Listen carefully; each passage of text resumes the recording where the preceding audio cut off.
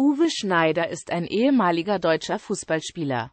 Mit dem VfB Stuttgart wurde Schneider deutscher A-Juniorenmeister 1988-89 Still.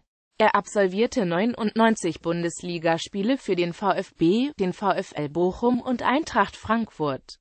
Seine erfolgreichste Zeit erlebte er beim VfB Stuttgart, mit dem er in der Saison 1991-92 unter Trainer Christoph Daum deutscher Meister wurde. Dies war gleichzeitig auch seine einzige Saison, in der er mehr als die Hälfte aller Erstligaspiele bestritt.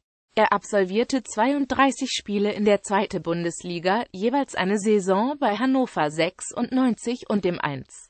FC Nürnberg. Anschließend war Schneider drei Jahre lang in der Regionalliga Süd beim VfR Aalen aktiv, für den er in 42 Spielen zwei Tore erzielte.